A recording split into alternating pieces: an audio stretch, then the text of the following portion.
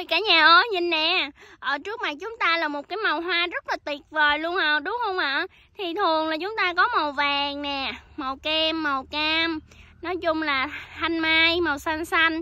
Và đặc biệt thằng này là ngọc mai. Bông của nó nè cả nhà, nhìn rất là duyên luôn. Trời ơi, nhìn mê quá mê luôn á cả nhà. Nè, cả nhà nhìn nè, bông nó bành bành luôn nha. Và cái màu của nó kìa cả nhà, nhìn rất là đặc trưng đúng không ạ? Đây em sao em thích những cái ờ, những cái màu như thế này quá. Mình sưu tầm á cả nhà. Tết nó có một vài cây mai ha. Màu này màu kia mình chơi đã luôn.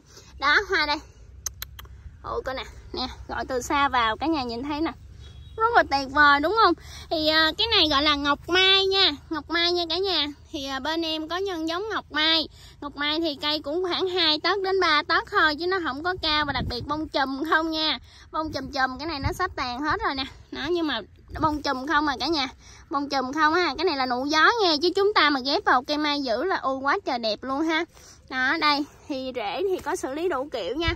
Đủ kiểu kiểu này kiểu kia đủ kiểu luôn. Đó quá trời đẹp luôn cả nhà. Ôi mê quá đi. Rồi à, một số cây giống bên đây nha bên đây cả nhà. Nè. Em sẽ tuyển những cây cao cao như thế này giao cho chúng ta nha nó cây cao khoảng hai tấc rồi cả nhà. Trời ơi, nói thiệt không nha, chứ không có nói xạo. Cái nào có cao, nói cao, nói hấp, có hấp, nói hấp nha cả nhà. Chứ đừng có nói em quay cái này mà em giao cái kia em buồn gì đâu. Bởi vì em quay cái nào em lấy cái đó mà sao kỳ không biết nữa.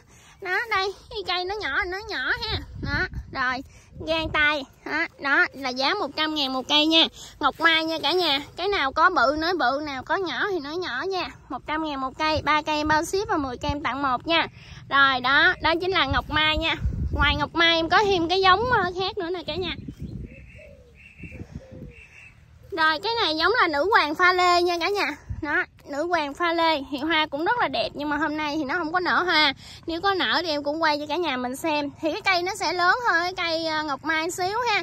Cây này cũng khoảng 30 rồi cả nhà. Giá là cũng 100 ngàn một cây luôn nha. Ba cây em bao ship và 10 cây em tặng một luôn nha cả nhà. Rồi, xin cảm ơn cả nhà đã quan tâm theo dõi đến vườn mai nhà em nha. Nếu thích thì xin hãy bấm một like và bấm đăng ký kênh nha. Vào youtube của em, xem rất rất là nhiều giống mai đẹp và mới lạ nha cả nhà.